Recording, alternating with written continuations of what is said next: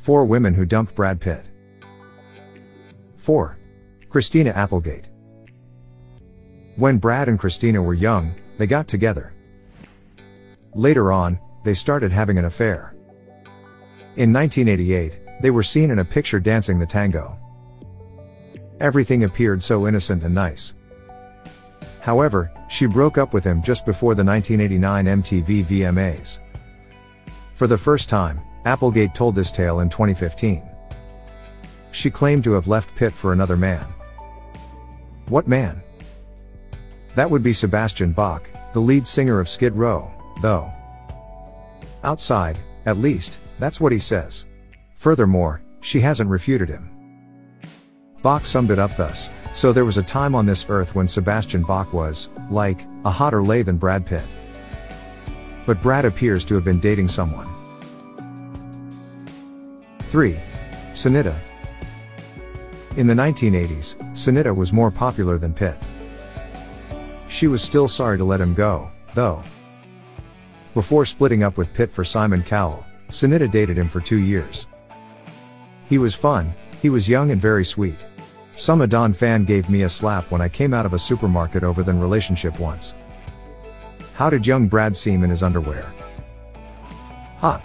He was beautiful with the most amazing body. Imagine this now, in 1989, Sinitta says goodbye to Pitt. Thelma and Louise is released in theaters hardly two years later. When I saw that movie, even I thought, oh my god, what have I done? Sinitta, it's too late.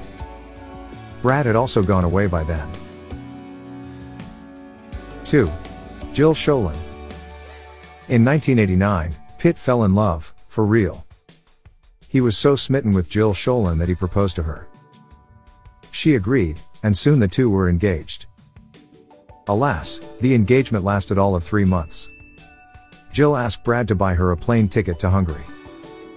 She needed to be in Budapest for a movie. Brad, who had no money to speak of, bought the ticket at once. Then, she called me up in Los Angeles and was crying on the phone. She was lonely, and there was a huge drama. At this point I had $800 to my name and I spent $600 of it getting a ticket from Los Angeles to Hungary to see her. I got there, went straight to the set where she was filming, and that night we went out to dinner. She told me she had fallen in love with the director of the film. I was so shocked I said, I'm out of here.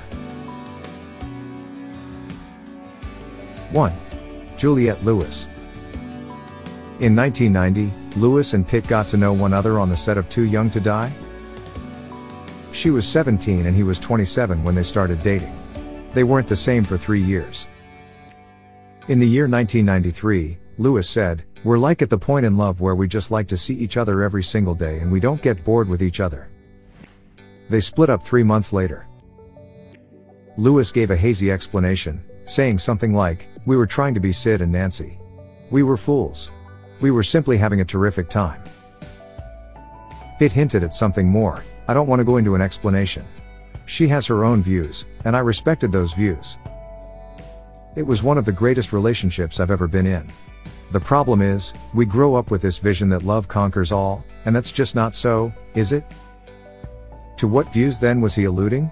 Apparently, Juliette converted to Scientology. After attending a few sessions, Brad came to the conclusion that it wasn't his thing.